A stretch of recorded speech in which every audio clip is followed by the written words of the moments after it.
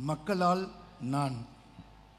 மக்களுக்காகவே நான் என்கின்ற தாரக மந்திரத்தின் அடிச்சுவற்றில் வழியாய் வந்த அருமையான தொண்டனும் தலைவனாகலாம் என்ற ரீதியில் எம்ஜிஆரால் கட்டமைக்கப்பட்டு அம்மாவால் ஆளுகை செய்து இன்று ஒரு தொண்டனால் பொதுச் செயலராய் தலை நிமிர்ந்து அமர்ந்து கொண்டிருக்கிற எங்கள் இதயம் கனிந்த அண்ணன் கே. எடப்பாடி ஐயா அவர்களுக்கு நாங்கள் இந்த மாநாட்டின் சார்பாக நாங்கள் வாழ்த்தி வரவேற்கின்றோம். இது ஒரு கிறிஸ்துமஸ் விழாவாய் காணப்பட்டாலும் எங்கள் மக்கள் மத்தியில் மிகப்பெரிய ஒரு கேள்விக்குறி இருக்கிறது. அந்த கேள்விக்குறி என்னவென்று சொன்னால் கடந்த நாட்கள் எல்லாம் இவர்கள் வேறொரு பக்கம் கடந்து போய் கொண்டிருந்தார்கள். இவர்கள் எல்லாம் வேறொரு பக்கம் நன்மை செய்வார்கள் என்ற நோக்கத்தோடு கடந்து போனார்கள். ஆனால் இப்பொழுது ஏன் இந்த கூட்டம் இந்த எதிர்ப்பக்கமாய் திரும்பி இருக்கிறது எதிர்க்கட்சி சார்பாக திரும்பி இருக்கிறது என்று வேறு கேள்விக்குறி உங்க எல்லாருக்கும் இருக்குன்னு நினைக்கிறேன். இது எதற்கு திடீரென்று ஒரு மாற்றம்? இதற்கு திடீரென்று தானே ஒரு திருப்பு முனை என்று நீங்கள் யோசித்துக் கொண்டிருக்கலாம். இந்த கூட்டமைப்பின் தலைவராக இருந்து கிட்டத்தட்ட மூன்று நான்கு ஆண்டு காலம் திமுகவினுடைய ஏமாற்று வேலைகளுக்கு நாங்கள் அடிபணிந்து காணப்பட்டோம். அவர்கள் சொன்னார்கள் சிறுபான்மை மக்களுடைய காவலர் இவர் என்று எங்களுக்கு அடையாளம் காட்டினார். ஆனால் அதே காவலர் என்று சொன்னவர் தான் நேற்று இரவு காவலர்களை வைத்து இந்த மாநாட்டை முடக்க முயற்சித்தார். நாங்கள் ஒரு கணம் யோசித்தோம் இன்னுமா நாங்கள் மாற முடியாமல் இருப்போம் என்று சொல்லி ஆனால் கடவுள் எங்களுக்கு கண் திறந்து காண்பிக்கப்பட்டார். இரண்டரை ஆண்டு காலம் எங்களுடைய உரிமைகளுக்காக எங்களுடைய பாச சுயாதீன சபைகளுடைய உரிமைகளுக்காக எத்தனை அமைச்சருடைய அலுவலகத்துக்கு நாங்கள் ஏறி இறங்கினோம். மத்தியில் இருக்கிற அருமையான பிஷப் தலைமையில் பல செப்படிக்கக்கூடிய பல பேராயத்தினுடைய தலைவர்கள் அமைச்சர்கள் மத்தியில் கடந்து போனோம். நன்கு உபசரித்தார்கள் அமர வைத்தார்கள் டீ கொடுத்தாங்க சாப்பிட வைத்தாங்க அடுத்து சொன்ன நாங்கள் செய்கிறோம். செய்கிறோம்.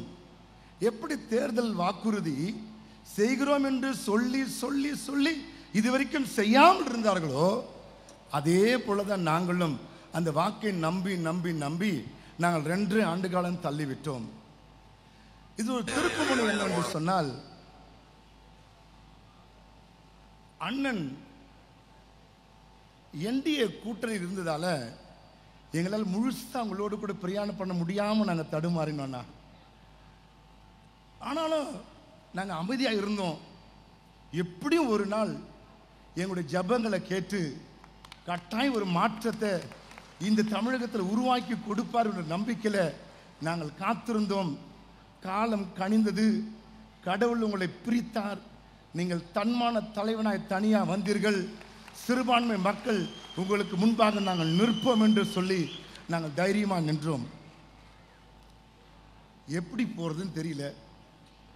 எப்படி அண்ணனை பார்க்குறதுன்னு தெரியல. எப்படி அவருக்கு எங்களுடைய ஆதங்கத்தை சொல்கிறதுன்னு தெரியல.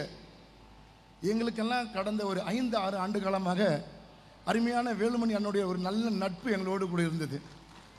நாங்கள் போகும்போதெல்லாம் எங்களை உபசரிப்பார் போகும்போதெல்லாம் கனப்படுத்துவார் போகும்போதெல்லாம் நான் இருக்கிறேன் நான் இருக்கிறேன்னு சொல்லுவார். அப்போ நாங்கள் யோசித்து பார்த்தோம். வேலுமணியான வீட்டுக்கு போனோம். அண்ணா அண்ணன் வந்து என்டிஏலேருந்து வெளியே வந்துட்டாரு. சிறுபான்மை மக்கள் நாங்கள் தடுமாறி கொண்டிருக்கிறோம். தமிழகத்தில் எங்கள் சிறுபான்மை மக்களுக்கு சிறுபான்மை மக்களாக குரல் கொடுத்து ஒரு தலைவரை தேடிக் கொண்டிருக்கிறோம். எங்கள் குரல் சட்டசபையில் கேட்கப்பட வேண்டும். எப்படியாவது எங்களுக்கு ஒரு உதவி செய்து அருமையான எடப்பாடினை பார்த்து நாங்கள் வாழ்த்து சொல்லலாம் அப்படின்னு தான் நாங்கள் முதல்ல முயற்சி எடுத்தோம். அண்ணனுக்கு ஒரு வாழ்த்து சொல்லுவோம் தான் கடந்து போனோம். அண்ணன் உடனே சொன்னார் நீங்கள் வாங்க ஃபாதர் நாங்கள்லாம் உங்களுக்கு உதவி செய்கிறேன்னு சொல்லிட்டு உடனே குறுகிய காலகட்டத்துக்குள்ளாக எங்களை அவரிடத்துல கொண்டு போய் வாழ்த்து செய்தி சொல்வதற்கு எங்களை அழைத்து கொண்டு போனார். கடவுள் எங்கள் பட்சத்தில் இருக்கிறார். நாங்கள் கடந்து போனோம். இத்தனை பெரிய மாநாடை நடத்துவதற்கு எங்களை நம்பி நீங்கள் ஒரு வாய்ப்பை கொடுத்ததுக்காக ஆண்டவருக்கும் உங்களுக்கும் நாங்கள் நன்றி சொல்ல கடைபெற்றுக்கிறோம் இப்படி ஒரு மாநாடு நாங்கள் நடத்தணும்லாம் யோசிக்கல. இரவு மாநாட்டு வேலை நடந்து கொண்டிருக்கிறது. மழை வருமா ஒரு பயம். எட்டு மணிக்கு அண்ணன் வந்தார். வேலுமணி அண்ணன் வந்து எங்களெல்லாம் பார்த்துட்டு என்ன பண்ணி கொண்டிருக்கிறீங்க? கூட அருமையான எம்எல்ஏ மாவட்ட செயலெல்லாம் கூட வந்தாங்க. எங்களுக்கு அது கொஞ்சம் சோர்ந்து போயிருந்தோம். ஏன்னா பயங்கரமான டார்ச்சர் நாங்கள் சபைக்குள்ளே இருந்து பழக்கப்பட்ட ஆட்கள். வெளியில் வராத ஆட்கள் நாங்கள் இப்போ தான் முதல்ல வெளியில் வரோம். அரசியல் களத்துக்குள் வெளியில் வரோம். தைரியமாக நீங்கள் இருக்கிற நம்பிக்கையில் வெளியில் வரோம். எங்களை நீங்கள் கைவிட மாட்டேங்கிற நம்பிக்கையில் வெளியில் வந்தோம். ரொம்ப ப்ரெஷர் அது சொல்ல முடியாது. நாலா பகுதியிலும் ப்ரெஷர் சிறுபான்மை மக்கள் காவலர் என்று சொல்லிக் கொண்டிருக்கிற இந்த அரசாங்கம் ஆன்மீக அரசியலுக்கு அடிப்படையே எங்க வேதாகமம் தான். ஆன்மீக அரசியல் என்பதை தெளிவாய் சொல்லிக் கொடுத்து எங்களுடைய வேதாகமம் தான். ஆனால் அந்த இடத்தில் நாங்கள் கடந்து வந்த பொழுது ரெண்டரை ஆண்டு காலம் என்னென்னலாம் கோரிக்கைக்காக என்னென்ன வேண்டுதலுக்காக கடந்த போன ஒன்று கிடைக்கல. அந்த இடத்துல அண்ணன் வந்த பொழுது உண்மையாக ரொம்ப சந்தோஷப்பட்டான நாங்கள் ஆனால் கடந்து போனோம் பெரிய பிரச்சனை சந்தித்தோம் அருமையான இன்பதுரையா சொன்னது போல் பத்து இன்ஸ்பெக்டர்லாம் நின்றுட்டு நீங்கள் இந்த பண்ணக்கூடாது அதை பண்ணக்கூடாது இது செய்யக்கூடாது காலையில் மாற்றுறாங்க இப்படி மாற்றுறாங்க உங்களுக்கு என்ன பண்ணணும் தெரியுமா? அது பண்ண தெரியுமா? இது பண்ண தெரியுமான்னு சொல்லி. ஆனால் எங்களுக்காக நடு ரோட்டில் நின்று அவர் வாக்கு கொடுத்தபடியே சிறுபான்மை மக்களுக்கு நான் துணையாக இருப்பேன் என்று வாக்கு கொடுத்ததின்படியே என்ன வந்தாலும் ஃபாதர் நாங்கள் நின்று செய்வோம்னு சொல்லிட்டு எங்களுக்காக அவர் நின்று பேசினார். அது மாத்திரமல்ல கூட இருக்கிற எம்எல்ஏலாம் நின்னாங்க மாவட்டத்தில் நின்னாங்க. அருமையான விபி கந்தவெளி அண்ணா எங்களுக்கு எல்லாத்தையும் கூட நீங்கள் தைரியமாக இருங்க பயப்படாதீங்க. யோசித்து பாருங்கள் சிறுபான்மை மக்களாக இருக்கிற கிறிஸ்துவர்கள் நீங்கள் நாம் கூடி ஆராதிப்பதற்காக சமாதானமாய் கூடி ஆராதிப்பதற்காக கிறிஸ்துவின் அன்பை வெளிப்படுத்துவதற்காக நாம் விரும்பின ஒரு தலைவரை அழைத்து அவருக்கு முன்பு நம்முடைய ஆதங்கத்தை சொல்வதற்காக ஒரு வாய்ப்பை உருவாக்கினோம். அதையும் தடை செய்து கொண்டிருக்கிறார்கள். அதையும் தடை செய்தார்கள். அதையும் தடை செய்து கொண்டிருந்தார்கள். ஒரு காரியம் உண்டு. முதலமைச்சருடைய தகப்பனார் ஒரு குறிப்பிட்ட தலைவரிடத்தில் ஒரு வார்த்தையை சொன்னார். அது என்னவென்று சொன்னால் தம்பி உனக்கு எப்பொழுதும் என் இருதயத்தில் இடம் உண்டு. ஆனால் களத்தில் இல்லை. உனக்கு எப்பொழுதும் இருதயத்தில் உண்டு? களத்தில் இல்லை என்று சொல்லி அவரை தேற்றினது போல இந்த அரசாங்கமும் இந்த அமைச்சரும் சிறுபான்மை மக்கள் கிறிஸ்துவாய்க்கு நம்மை பார்த்து சொன்னாங்க நான் இருக்கிறேன் நான் இருக்கிறேன் நான் இருக்கிறேன். அவர் இருக்கிறார். நாம தான் காணாமல் போய் கொண்டிருக்கிறோம். அவர் நல்லா இருக்கிறாரு. நாம தான் பார்க்க முடியாமல் இருக்கிறோம். அவர் நல்லா இருக்கிறாரு. நாம தான் போக முடியாம இருக்கிறோம். இந்த ஆட்சியினுடைய இளவரசர் ஒரு கதையை நீட்டுக்காக சொல்லி முடித்தார். நீட்டுக்காக ஒரு கதையை எடுத்து சொன்னார். அது என்னவென்று சொன்னால் ஒரு வீடு பூட்டப்பட்டிருந்தது. அந்த பூட்டப்பட்ட வீட்டை தட்டுவதற்கு ரெண்டு காரியம் என்றது ஒன்று சாவி இல்லாத காரணத்தினால சுத்தி எடுத்துக்கொண்டு அந்த பூட்டை தட்டினார்களாம். தட்டினார்கள் தட்டினார்கள் தட்டினார்கள் தட்டினார்கள் பூட்டு திறக்கவே இல்லையாம். பின்பு சாவி எடுத்து திறந்தார்களாம். திறந்தவுடன் பூட்டு திறந்ததாம். அப்போது இவர் சொல்லுகிறார் எந்த இடத்துல சாவியை கொடுத்து திறக்கணுமோ அங்கே சாவியை கொடுத்து திறந்தா தான் திறக்கும். தட்டினே இருந்து திறக்காதுன்னு சொன்னார்.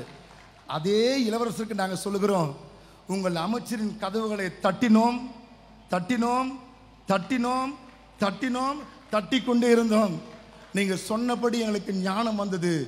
சாவி என்ற எடப்பாடி சாமியை நாங்கள் தெரிந்தெடுத்தோம். அந்த எடப்பாடி சாமி இடத்துல கடந்து போனால் எங்களுடைய பூட்டு திறக்கப்படும். கோரிக்கைகள் முன்வைக்கப்பட்டு கடந்து போவோம் கட்டாயமாக நம்முடைய உரிமை குரல் எழும்பப்படும் என்ற நிச்சயத்தோடு கூட கடந்து போனோம். கடவுள் நமக்கு அந்த வாய்ப்பை அவர் திறந்து கொடுத்தார். நான் ஒரு சின்ன கோரிக்கை. ரெண்டாயிரத்தி பதினொன்றாம் ஆண்டு அம்மா அவர்கள் அருமனையில் முதல் முதலாக ஒரு பெரிய செய்தியை கொடுத்தார்கள். அது ஒரு பெரிய திருப்புமுனை பத்து ஆண்டு காலம் ஆட்சிக்கு ஒரு திருப்புமுனை உருவாக்கி கொடுத்தது. என்னவென்று சொன்னால் அம்மா சொன்னாங்க என் இடத்தில் என்னிடத்தில் நான் வணங்குகிற மத வழிபாட்டு தலம் கட்டுவதற்கு நான் யாரிடத்தில் பர்மிஷன் வாங்க வேண்டும்? என்னிடம் என் நிலம் நான் கட்டுகிறேன். நான் யாரிடத்தில் பர்மிஷன் வாங்க வேண்டும் என்று சொல்லி அடுத்து உடனே சொன்னாங்க நான் ஆட்சிக்கு வந்தால் கட்டாயமாக இந்த மதமாட்டி தளிப்படத்துக்குண்டான தடைகளை நான் எடுப்பேன் என்று வாக்கு கொடுத்தாங்க. நாங்கள் நம்பினோன்னா அப்படியே நாங்கள் ஓட்டு போட்டோம். ரெண்டாயிரத்தி பதினொன்றில் அம்மா வந்தாங்க தொடர்ந்து வந்தாங்க. ஆனால் அம்மாவுக்கு சரியான அந்த கோரிக்கையை கொண்டு செல்வதற்கு அங்கு கிறிஸ்துவ தலைவர் இல்லாமல் போயிட்டாங்கண்ணா இருந்திருந்தாங்கன்னா இன்னைக்கு நாங்கள்லாம் இப்படி சுய உரிமைக்காக தடுமாறி இருக்க மாட்டோம். இன்றைக்கு உங்களோடு கூட சொல்வதற்கு தைரியமாக சொல்வதற்கு நீங்கள் இருக்கிறீங்க. நாங்கள் கொண்டு வந்த கிறிஸ்துவ மக்களாக இருக்கு நீங்கள் புரிந்து கொள்ளுங்க. நம்முடைய உரிமைகளை நேரடியாக எடுத்து செல்வதற்காக கடவுள் இந்த மாநாட்டின் வாயிலாக ஒரு நல்ல தலைவரை தேவன் கொடுத்திருக்கிறார். அந்த மத வழிபாட்டு தலங்கள் சட்ட ரீதியாக அமைக்கவும் சட்டப்படியாக அமைக்கவும் கட்டாயமாக நீங்கள் உதவி செய்வீர்கள் என்று நாங்கள் நம்புகிறோம். கடவுள் இது ஒரு பெரிய காரியத்தை வாக்கி செய்து கொடுப்பார் என்று நாங்கள் யோசிக்கிறோம். அதே போல ஒரே ஒரு காரியத்தை மாற்றி சொல்லி முடிக்கிறேன். கடந்த நாட்களில் கல்லறை தோட்டம் இல்லை இல்லை இல்லை என்று சொல்லி நாங்கள் கடந்து போனோம். உள்ளாட்சி துறையினுடைய அமைச்சராக இருந்த அருமையான அமைச்சர் வேலுமணியனை சந்தித்தோம். அவர் அமைச்சரோடு பேசினார். ஒரு முடிவு எடுத்தாங்க. இந்த சிறுபான்மை மக்களுக்கு ஒரு கல்லறை தோட்டம் கொடுக்க வேண்டும் என்று சொல்லி அவர் எல்லா கலெக்டரையும் அணுகி ஒரு ஆர்டர் பாஸ் பண்ணாங்க. வந்தது இருந்தது. ஒரு காரணம் நன்று புரிந்து கொள்ளுங்க. இந்த ஆட்சியில் இருந்தவர்கள் இதே நம்ம முன்னாடி இருக்கிறதான வேலுமணி அண்ணன் அதை செய்தார். அவர் செய்தார் என்ற ஒரே ஒரு காரணத்துக்காக அந்த அந்த மனு கிடைப்பில் இருக்குது. அந்த அதனுடைய அந்த ஜீவ கிடைப்பில் போடப்பட்டிருக்கிறது. ஒன்னே ஒன்று தெரிஞ்சுக்கொள்ளுங்க. இது கிடைப்பில் போடப்பட்டது அண்ணா திமுக ஆட்சி காலத்தில் செய்யப்பட்ட ஒரு ஜீவ அல்ல. கிறிஸ்துவலாகிய உங்களுக்கும் நமக்கும் செய்யப்பட்ட பேரிழப்பு இது. இது ஒரு வேலை இந்த அரசாங்கம் தொடர்ந்து செய்திருந்தோம் என்று சொன்னால் நமக்கு கல்லறை நாம் தடுமாறி இருக்க மாட்டோம். இன்னைக்கு கல்லறை தடுமாற்று காரணம் என்ன தெரியுமா? இந்த அரசாங்கம் அனைத்து இந்திய அண்ணா தாய் அண்ணா திமுக அரசாங்கம் நமக்கு வாய்ப்பை கொடுத்தது அது வருவதற்குள்ளாக ஆட்சி மாற்றம் உருவாக்கப்பட்டது. இவர்கள் செய்தார்களே என்ற ஒரே ஒரு காரியத்துக்காக மாத்திரமே இவர்கள் நிறுத்தி விட்டார்கள் ஆனால் இன்று ரெண்டாயிரத்தி இருபத்தி ஆறு அண்ணா நாங்கள் உங்களோடு கூட இருக்கிறோம். நாங்கள் தைரியமாக இருப்போங்க. உங்களுக்காக நாங்கள் ஜெபிக்கிறோம். தெரு தெருவாக ஜெபிப்போம். வீடு வீடாக ஜெபிப்போம். எதற்காக தெரியுமா? ரெண்டாயிரத்தி இருபத்தி நாலுல நீங்கள் தலை நிமிர்ந்து தமிழ்நாட்டுக்குள் கடந்து போனோம். எப்படி தெரியுமா? எதிர்க்கட்சி தலைவராய் அல்ல முதலமைச்சராய் கடந்து போக வேண்டும். நீங்க முதலமைச்சராய் கடந்து போவதை இந்த கிறிஸ்துவ மக்களாக நாங்கள் பார்த்து ஐயோ எங்களுடைய கோரிக்கைகள் நிறைவேற்ற ஒரு தலைவரை கடவுள் கொடுத்தார் என்று சொல்லி நாங்கள் நன்றி சொல்ல தேவன் எங்களுக்கு அனுகிரகம் தருவார் என்ற நிச்சயத்தோடு கூட எங்கள் உரையை நான் முறைக்கிறேன். கடவுள் ஒரு பெரிய அனுகிரகத்தை எங்களுக்கு தருவாராக. ஆமேன் ஆமேன் ஆமேன்.